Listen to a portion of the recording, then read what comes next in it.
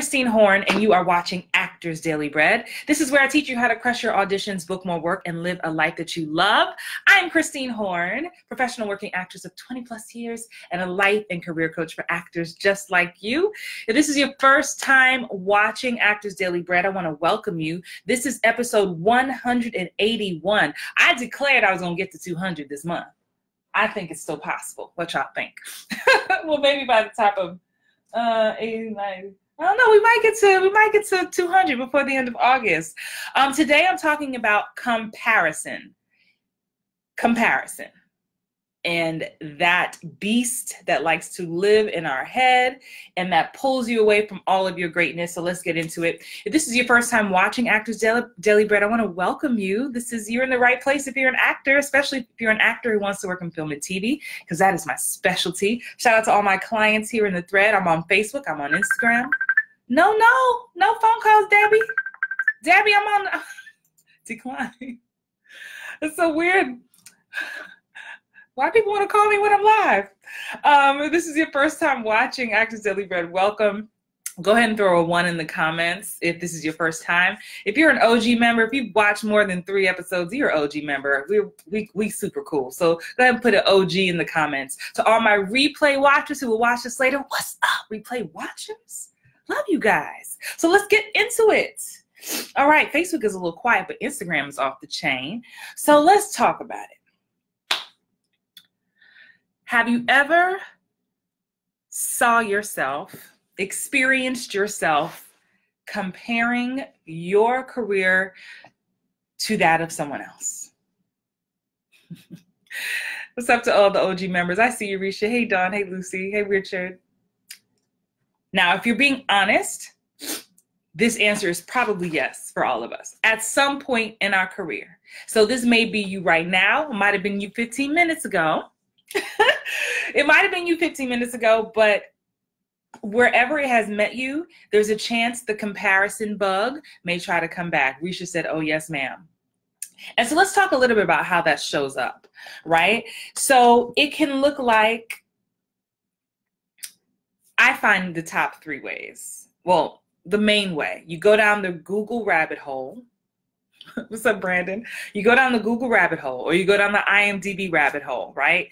And it's the or the Instagram rabbit hole, or the Facebook rabbit hole. And it's just comparing, comparing, comparing.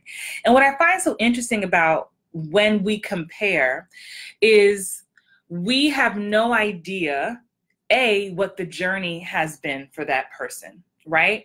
We just usually see, I feel like the root of comparison really honestly starts at a root of admiration. That's what I feel. Because comparison, I feel like, is different than just being envious and jealous, right? I feel like we're even looking at certain people because they're on a path that we admire, that we'd like to experience. They're doing something that excites us, we can see ourselves literally where they are. Maybe for you, the comparison shows up because you look, you think you look similar to that person, or maybe you have a similar essence or vibe, or maybe everything that you've seen to go out for, maybe every co-star or guest star series regular, when you actually saw who booked it, if you didn't book it, it was like the same person or the same several people right? Um, and so maybe it comes from that. But I wanted to just sit in and honor. This is the way I look at it. You may look at it differently, but I want to honor the fact that I'm starting this comparison because I admire something that you do, or you are you are you are goals. You know, people say your goals, right, or your career goals, like that's that's the number one thing. And so i think it's natural for us to look at people look at people's paths that have been laid before us and wonder hmm i wonder what it took for them to get to that path. Or let me just see let me retrace see if i can find their footsteps in the snow right? And kind of like backtrack and retrace my steps so that i end up exactly where they are. And this is i feel like it's there's a positive but more of a negative to this and let me explain. And hey guys i see you coming on. Hey jasmine. Hey joni. Hey long time joni. Uh, what's up stephanie? What's up uh, peyton tracy? So let's talk about how this hinders you and how it doesn't serve you. That's kind of been on my my tongue for the past few days as I've been talking to clients. How does it serve you, right? So, when you have an audition and the first thing you think about is, well, I wonder who else got an audition. I wonder who else. Parents, this is especially true for you, especially some of y'all in the Southeast. And some of the Southeast agents like to send like the whole list of everybody who's auditioning. I don't know if they still do that, but they used to. So then you end up seeing all the people going out for the same part as you. And, so it's natural to be like, well, I wonder why they picked them. Huh. And then you start Googling, you go down the IMDb rabbit hole or the Google rabbit hole and be like, oh, I guess we kind of the same. That we totally different. I don't even get why they would want to, they don't know what they want.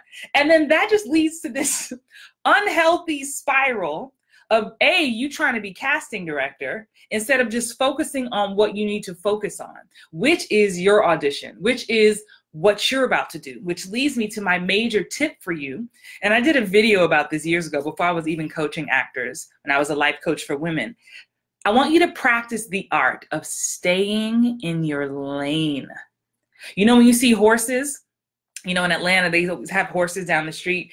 Here in Chatsworth, California, there's all these horses, and they put the blinders on the horses, right? Because, honey, if it was up to the horse, the horse would be like, "What y'all doing over there? What y'all doing over there?" And you'd be like, "Uh, we are not getting to the destination."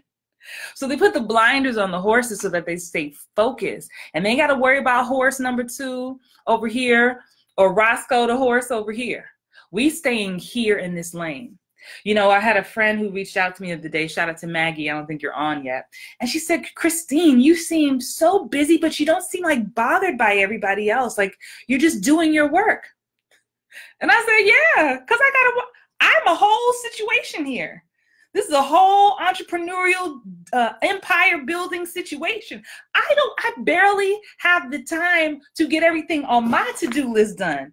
How I got time to be worried about what you're doing? honey, these 24 hours are precious. And so for some of y'all who got day jobs, night jobs, children, husbands, dogs, cats, turtles like me, like our day is busy. So where are we finding this extra time to be spending quality time researching you? Researching your perceived competition. So again, it's one thing to be like, man, Tracy, oh, I love her career. Like she's done all these shows, like she's beautiful. Gosh, I want to do more of that. Yeah. And then let that sit there, which leads me to my next tip for you. That person or people, because I know for each and every one of y'all be the same folks. It's the same people you looking at. Okay. You helping their algorithm, honey. They're like, my algorithm's through the roof. It's because uh, Brandon keeps stalking my page teasing you, Brandon. Right? So it's the same people. So I need you to A, this is the next tip. I need you to bless those people. I need you to throw huge blessings on them and be like, gosh, Stephanie's career, it looks amazing. I don't know everything she's been through. I don't know her trials, triumphs, turbulations, but I just love the path that she's on. So I'm gonna send blessings to her because that is what I'm working on. And Lord, when I get there, I pray someone is playing is praying blessings over me, sending me good energy. Congratulations. Y'all remember that time Taraji was clapping for Viola Davis? She stood up and was just like, it's a gift now. So she was just like, like, because it's that energy. And when you're winning, don't you want someone cheering you on? And it's like, look, we all have our path. We all have our lane. And each and every one of you, at the sound of my voice, have what you laughing at, Shauna? each and every one of you, of us, have a path that is already laid, a path that is already written. Those gigs you don't book, you have no idea what's happening in the background. No idea. And I know it's frustrating, but I'm telling you, you're the same people, and this you is, is, is universal for all of us. You're the same person or actor who will come up to me and tell me that you don't have time to do X. Well, Christine, I don't have time to market. I mean, it's so much energy. Christine, I don't have time to take class. Christine, I don't have time to do it self tape every week. Christine, I don't have excuses, excuses. Like, let me, can I find more excuses? But honey, why you got 20 minutes to do the Insta scroll and the linger stalking or using the incognito tab on Google to, to be researching your perceived competition. I'll wait. We have more time than we think we have. And each and every one of us brings something so special and so unique to this industry. No one on this thread, no one here on Facebook, Instagram, those of you who watch this replay later, you can never be duplicated. Ever. So when you stand in the fact that you are one of a kind, wonderful, one of, one of a kind, unique, one of a kind, special, your gift is divine. It is a gift. You're on this planet to share that gift by any means necessary, that you were made in the most amazing likeness. Who got time to be comparing to somebody else? You were created with such beautiful detail and effort. So, how about we focus more on sharing our gifts? And how do we do that? First, just to recap, we send blessings to those. And by blessings, this can mean whatever it is that you believe in, however you want to do that. It's just the opposite of, hmm. I'd rather be like, gosh, I admire her. That's dope. I love her work. Right? It's like that. It starts there. Then it starts by being so laser focused. So my friend Maggie was like, Christine, you seem so focused on yourself. I'm like, I am. If I'm not focused on me, I'm focused on my clients, period. What am I doing? What are my clients doing? How can I push my clients to greatness? Great. And because that's a circle, that's just a circle, it goes back around. Every time I'm teaching, every time I'm teaching you guys on live, I'm teaching myself. And you guys can be a blessing too. Like just take something you've learned and tell somebody else. So not only is it blessing somebody else, but and then you get to hear it again. And sometimes you hear it that next time, you be like, "Oh, that was a word. I said that.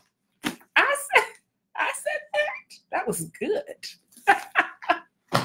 Because sometimes I need my own word. But you can do so much more if we get off this comparison train, especially when you have auditions pop up. Let me have a sip of water. Let me hashtag. I need a hashtag Perrier. Get this Perrier sponsor. This is what it could be for you, Perrier. Let's talk about it. You never know.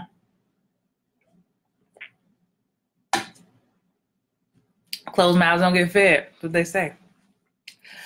Whew. Can I say, let me do an insert. I know I got all deep. Just I like to make y'all smile. No, I'm not gonna wink again. Y'all give me such flack for winking. If you weren't watching that video, listen, this is day 19. We've been going 19 days straight of lives. Um, so I went to Sephora today. This is so not related to comparison. Just stick, stick with me. I went to Sephora today because I have been needing to stock up on. I needed to rejudge my whole makeup situation. Like I had, as my mother would say, drips and drabs of just beauty supply this and this. You know, like I'm used to the good stuff when I go on set. It's like I got to go to Sephora and just do it. So I was about to come on live for y'all because I had to spend I spent me a nice little ch- ch- chunk of change there, but I got everything I needed. But you know, if you've never been to Sephora, it had like your makeup test done. They put a little this here. You're testing out these shades. Honey, I walked in the house and I was like, oh, I'm gonna go live.